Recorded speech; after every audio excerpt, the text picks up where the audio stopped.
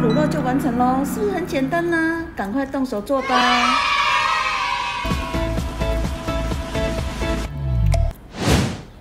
准备的材料有这些：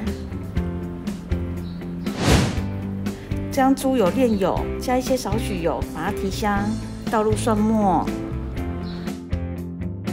爆香之后呢，将葱白倒入，炒软之后逼出香气，再把青葱倒进去，整个把香气炒出来之后呢，加入少许的辣椒，起锅备用。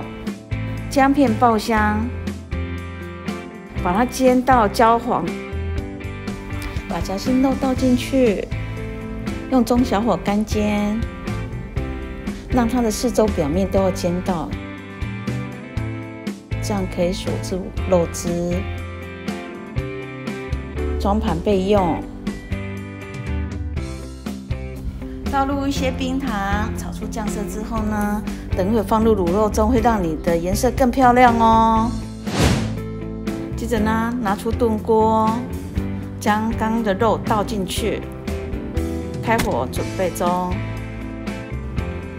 倒入松卷的黑豆酱油。